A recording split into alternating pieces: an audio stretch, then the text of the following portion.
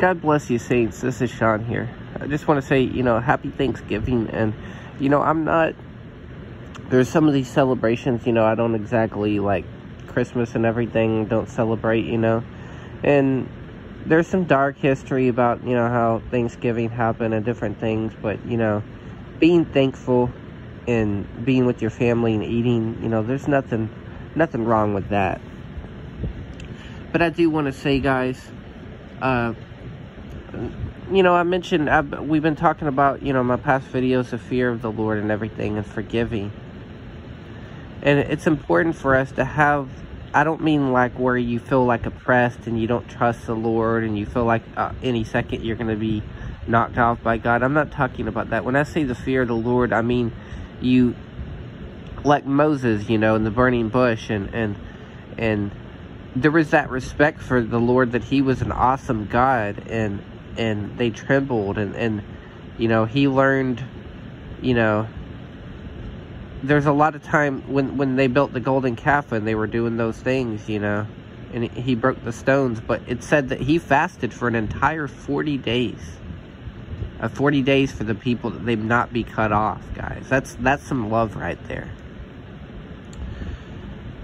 sometimes when we we're like I said when we're carrying this anger or this bitterness when we're carrying it when we're projecting it on people guys it'll take away that sweetness that you have. I, it'll take away that. And one of the doctrines that we've been taught and I'd been taught it before you know and I'm not back I'm not like being harsh at anybody or anything who has any of those doctrines so don't get that picture. But one of the doctrines I was taught was you know, it's sort of like the once saved, always saved. You know, we know that's false, but I was taught the, uh, you know, Christ forgave your past, present, and future sins. And I, am saying this with trembling because I'm not accusing people because we're all on different, you know, not all of us agree on the same thing, but Yeshua, you know, asked him uh, a while back about certain things, and, and, he, and he said, you know, you know, am I, I said, am I going to lose my life in this whole, you know, this whole Elijah thing, you know, because I was worried that, you know, in the future I might fall or whatever. And he said, only the Father knows who's going to sin against him. He said, only the Father knows. And, and that, that was news to me because I didn't know that. You know, they say Yeshua, you know, knows everything, but, you know, he even says he doesn't know when he's returning, only the Father knows. Well, he took it a step further, says, I don't know, you know, only the Father knows. Because when he came down to earth and he was incarnated in the flesh, he became like us, you know. He has faith that we're going to do our race and everything. And, and the, from time to time, he explained to me, the Father will show him things that he needs to know to tell us. And so he'll know a lot of things ahead of time because the Father tells him. But he doesn't tell him everything because he has a a ministry. And a lot of times people want guarantees that God is going to forgive them tomorrow. But guys, we are told that tomorrow is not guaranteed. We're not guaranteed that we'll have a chance to repent tomorrow. We're only guaranteed, the Bible says today is the day of salvation. I can't find any, you know, scripture where God guarantees that tomorrow's sins or something happening tomorrow will be forgiven. But, you know, he, he told me he said they have to repent today, Sean. They don't have tomorrow. And and part of the fear of the Lord, guys, is when you when you think like this, if you think you're gonna automatically be forgiven no matter what you do, you could do a lot of uh you know you could do a lot of bad things to people and, and just think it's okay because God, you know, forgives me a future as long as I'm in the moment, you know, he understands it in the moment I'm going to fall sometimes. But that's, when I was in heaven and I kept trying to explain how we're going to fall sometimes, and I saw the Father, the Father, God the Father is gigantic. He didn't move an inch. And then I was thinking, he's not even giving me any wiggle room. What is this? And then, and then because he wasn't doing that, it even made me even more fearful to where the temptation to sin was right there. Like I was going to do it right then. And he looked really close at my face like, are you serious? Are you going to really do that? And then he's told me, I want my people to walk by faith. They need to learn to live by faith. A lot of times when I strategize to them moving forward, not to do a sin again, they get afraid. They get afraid that I'm putting too much on them. And they say, you know, you know, the Lord's way is not equal. You know, you're putting too much on us. But he says he'll never put too much on us we can bear. And with the temptation, he'll provide a, a, way of escape. And he says we can do all things through Christ who strengthens us. But a lot of times we look at how we are in our flesh apart from Christ's strength and we say, surely he's going to allow some wiggle room. But he's not like a, uh, he's not like a, uh, you know, like a drill sergeant, just, you know, what I mean, where you can't even like, you know, breathe. I'm not, I'm not talking about that. I'm talking about, you know, the Lord and his sweetness given us his grace is, is to learn to walk in perfection like him. He said, you should, you shall be perfect as your heavenly father is perfect. But he, remember, he gave a comment to a man who basically said when he returned, I knew, Lord, you were a hard man. In other words, uh, you know, your way, you know, you're calling people to be perfect or, or you're calling people, yeah, he said, I know you're a hard man, Lord, uh, reaping where you've not sown, gathering where you've not sown. And he showed me this in the dream where he pretended to be uh, angry and he pretended to be like a hard man and grabbing uh, a 50 and a 20 and, and that number together represents 70 like 70 years of captivity of babylon and he wasn't like really angry he was just joking he was showing how people oftentimes when he requires he calls him to do something they they treat him like he's almost like he's being like this.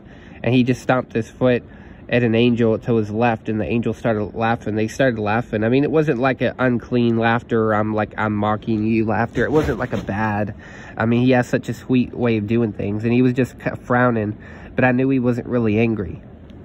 And he's saying this is how they see me sean a lot of times uh, when you know they're they're blasting somebody off they think I'm this harsh at them and they also they also think when I'm requiring them to repent that this is the portrayal of me that I, there can't be any way I can teach perfection basically without being like this but but it's not true you know. The Lord has a soft and a sweet side. But oftentimes guys we get it in our head that he's putting too much on us that there's no way we can ever be perfect but in heaven, guys, they don't think like that. They're not worried about the devils trying to get them to sin. They're not worried about their flesh trying to get them to sin in heaven. They're like, I'm with God. I'm obeying him. That's, they're not worried about that. God wants us to live in heaven on earth, right? He wants us, because the kingdom of God is within us. We're raised up in heavenly places. He wants us to live the way we are living in heaven right now, you know. The Bible says this is the grace of God that brings salvation, teaching us to deny ungodliness and worldly lust in this present age. It doesn't say like in the age to come denying them, but denying them now. And I know people think he's saying almost deny him, but but he's he's saying deny him. He wants us to take up uh, our cross and walk with him. But a lot of times I can hear people's anger like toward like like their hatred toward uh toward uh, people. You know, I, I saw a carnage scene, and, and God gave me a dream about this also. But this, this Cletus Kasady was beating up on this guy, and he said to Eddie Brock, you know, you printed only one side of the paper about me, only one, one side of the story, you know. You forgot to mention the part that Cletus Kasady was abused by mommy, daddy, granny, and he's like screaming. And so there's this right that because we tend to have because we were abused to abuse others, you know. And and and I saw that Superman, God told one, one person once, you know, he's a spirit of coldness, and I saw that carnage go into him, that coldness, and uh, go into uh, Superman, and and he was destroying, you know, and it was in the name of they they did this stuff to me, you know, and and it's we got to overcome the spirit of coldness and that spirit of carnage, and and and, and, carnage is also the spirit of lasciviousness, and it's it, it talks about turning the grace of God into lasciviousness. You know, I'm not like saying it in a harsh way. I'm not doing it like I know there's some people out there when they preach, guys, that they want to uh, slam people down, you know, and they don't want to have love toward it when they're preaching. I'm, I'm not a hard man. I told one guy once, you know, I'm not a hard man. Why are you attacking me? I'm not a hard man. You know, I'm not like angry or anything. But the problem is, guys, you know, God said there there is rebellion in people's hearts. There's rebellion. He told me that face to face, and you know, it says in the Elijah codes, it said their rebellion, their heart is like the rebellious of heart. And it says, and, and it likened, I didn't liken to this. It says, you can look up the come near Elijah codes, you know, it talks about it. Everything I'd be dealing with. And it said the heart is like a, a bottomless pit. And you know, those locusts coming out of that pit they're for the unclean things that come out of the heart, the, the hatred of men and the bitterness and and the envy, you know, because and carnage is part, partly envious because you you have the joy of the Lord. You have the joy of life, you know. I don't have that joy. I was abused by my uh, mother and father and, and grandma. I don't have that joy. That envy, you know, that's that's a Wolverine spirit. He showed me that demon Wolverine of envy, you know, because he wanted to get uh, Scott Summers' wife, you know, that he felt like he she belonged to him, you know. And there's I'm not I'm not doing it to judge anybody. I'm not doing it out of hate. I'm doing it because I love you guys and, and we don't need to be controlled by these things. Don't let the devil control your emotions. Don't let him control your anger. I understand that you have that pain. I understand you you were abused as a child. I understand there are many out there who need to be loved. I understand that. but uh you know, the Lord commands us to forgive others, you know, and when he when he says 70 times 7, he really means it. I you can tell to a certain degree who's forgiven others, guys. That that love will be in your voice, guys. That that anger won't be there. He says, let all bitterness and anger and wrath and, and clamor and malice be put away from you. So it shouldn't even be in the tone of your voice, guys. We shouldn't even have it, you know we shouldn't have it at all. It, does, it doesn't fit a Christian, guys. It fits the world. This is how the world uh, can deal with their problems when when they're, you know, they just feel like they have to do something. There's there's somebody I work with, and, and this is just his way that he feels like he has to uh, practice aggression and use aggression to solve the problems. Because if he's not coming down hard on people, they won't get the message. But that's not the way Christ does it. He has commands tell us to turn away from uh, wickedness, and he'll tell us that, but he won't do it with the spirit of the world. And we can be doing, preaching the Lord's word, but we can be doing it in the wrong spirit. We still have to do it in the Holy Spirit, you see what I'm saying? The word and the spirit. He says, eat my flesh, drink my blood. There are a lot of people that are preaching the flesh of the Lord, which is his word, but they're not drinking the blood, uh, the, the spirit. They're not coming in the right spirit. There's there's animosity there. Uh, I don't consult, you know, who I've been or who I was, you know, according to the commands of God. When he tells me to, uh, when he talks to people about repent, he's not saying like halfway repent or you can never do good or you can never overcome that or you're going to always fall or you're going to always do this. He that you don't find that in the word of god but but this is just because our own fears that we can't do these things. We kind of add that and throw that into the equation. But christ doesn't you know. It's not in the word not because he doesn't see our uh you know doesn't see our the weakness of our flesh. It, but it's because he wants to get us to where he wants to get us, you know, to that perfection. And we're called to walk perfect. It actually is a command.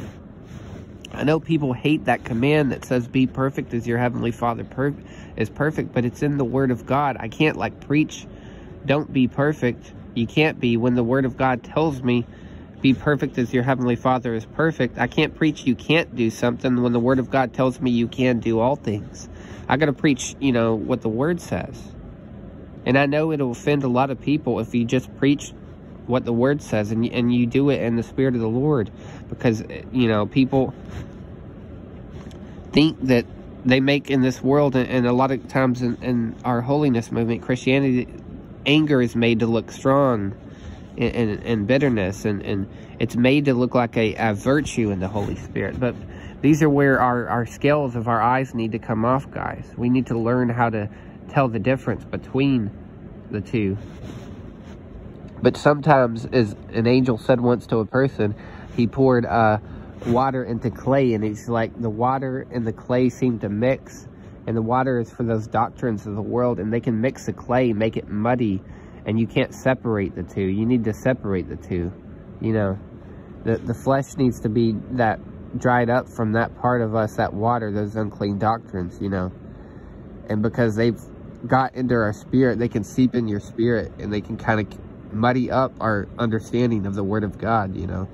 This is why we, we need to let go of our fears. A lot of times people have fears that they won't be able to do what the Lord says. So they say, it can't be true. It really can't be true. God really would not be calling me to totally go and sin no more. This, it can't be true.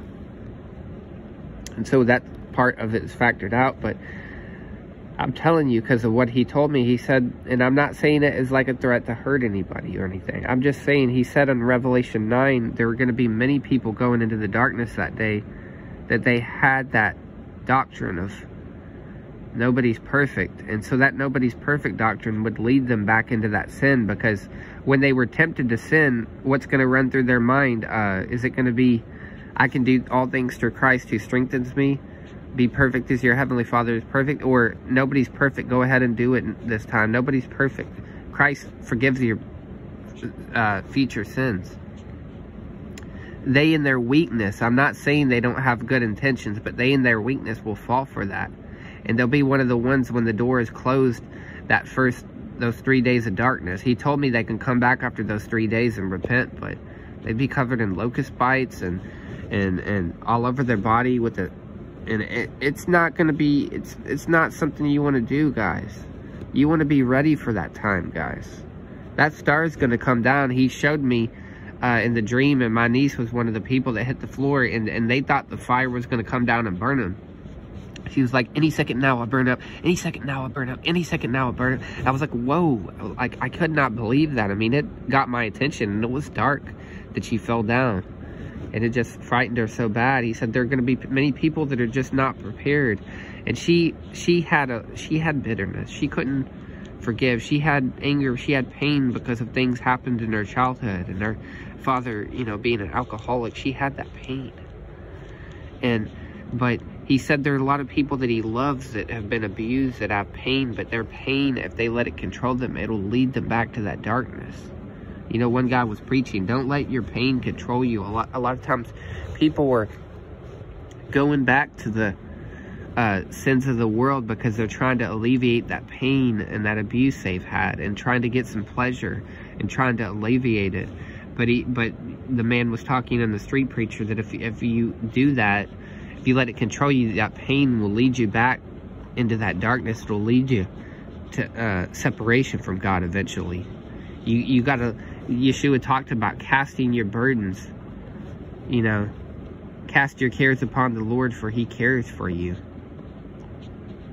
And cast your hurts, you know, cast them toward him, guys, uh, those pains, and don't let them control the way you your ministry or the way you're responding because it, it'll destroy your ministry it'll, it will destroy you, you know.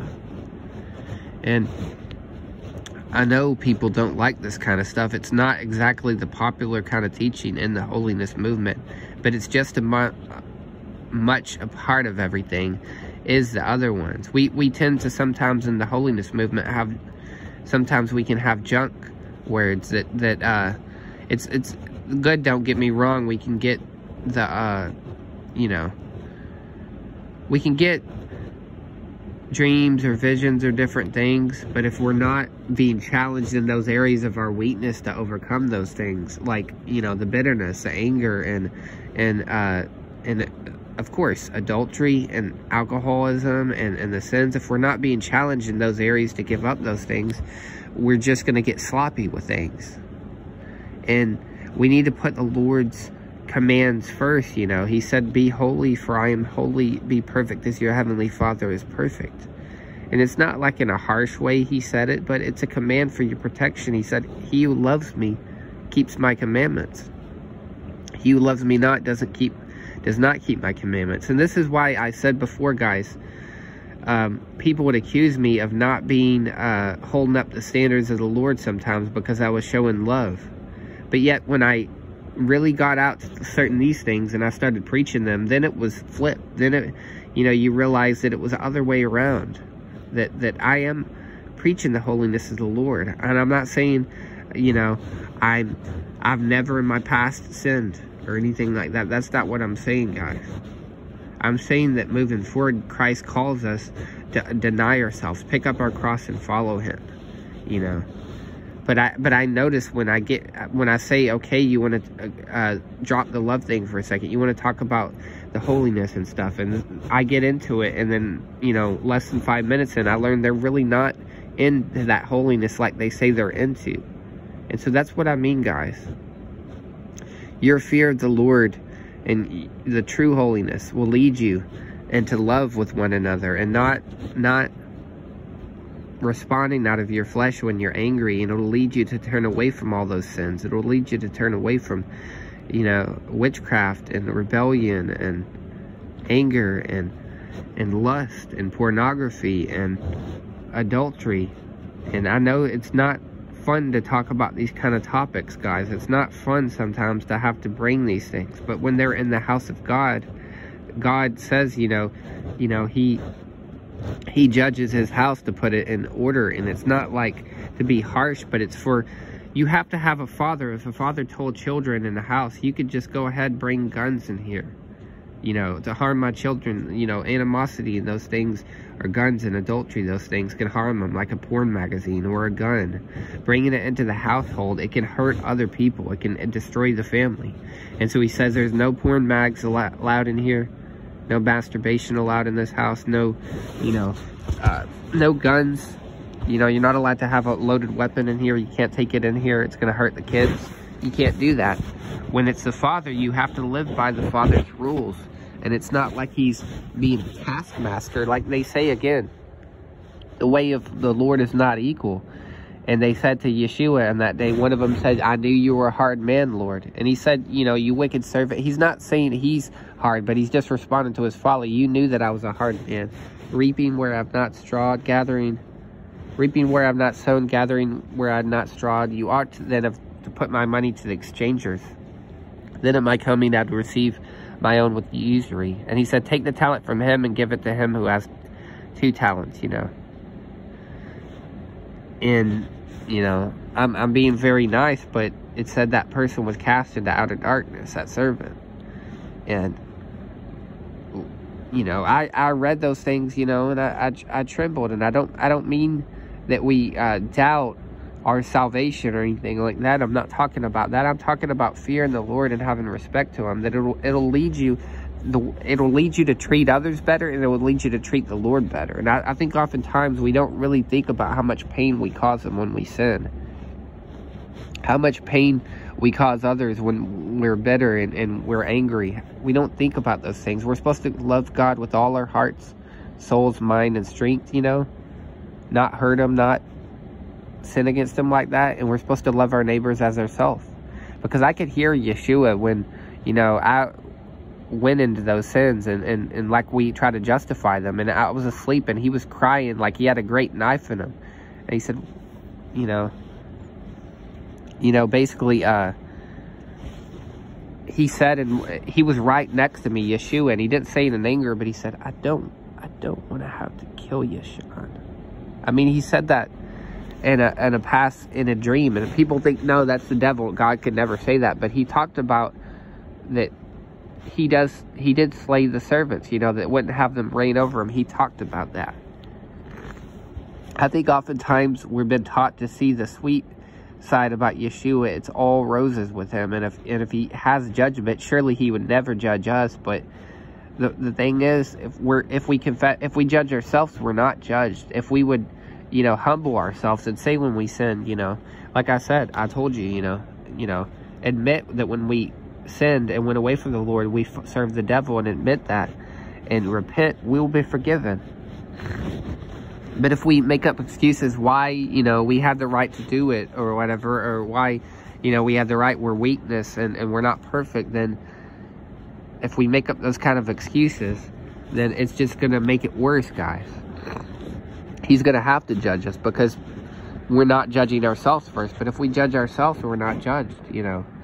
And so, you know, love the Lord your God with all your heart and your neighbor as yourself, guys. And if you love God with all your heart, you'll be, you know, listening to his command to be perfect as your heavenly father is perfect. And not worry about saying i can't i'm you know like they they make per perfection look like a dirty word in the church. They make it look like a filthy word. They make it look like it's unclean and it's uh god's a taskmaster when he says it but he's not guys You know, he's not a taskmaster when he calls us into the perfection of the Lord. He's just, it's for our own safety, guys. He told one woman when she got to heaven, and she didn't even fully understand it, but he said, all doors to the enemy, Anna, they must be closed. Your, your obedience to me is essential. All doors to the enemy must be closed when you're going out. Every door to the enemy must be shut. It's not easy, you know. He says few will enter into the you know, few will enter into heaven, basically. It's a narrow way, guys. Many will seek to enter and not be able to. They'll seek to enter in the narrow way and they'll not be enter. They'll not enter. The reason why is because they're holding on when they're trying to get into that narrow way. They're holding on to bitterness and all these things, and it's like fat on their bodies, making them overweight. And it's like you have to have a certain measure, a certain size. I'm not talking about physical. I'm talking about spiritual and that gate will only fit one person. It won't fit your sin and you. It, it'll fit you, but not your sin and you. And so you have to lay those things down, guys. And and walk with God, you know, and you, and you will be able to get through that gate. But you just can't carry anything else but you. You know what I'm saying? You got to lay down. We, when we came into the world, guys, and we were babes, we didn't have bitterness. We didn't have anger and all that stuff. He wants us to lay it down like when we came into the world as a baby lay it down all the things of the world as far as the world is concerned be naked concerning that. Lay down all those things material things you know the lust and all those things guys and walk with god. But i love you guys. I'm gonna let you go. Happy thanksgiving everybody i hope you have a really good one and i'll be praying for you. Until next time shalom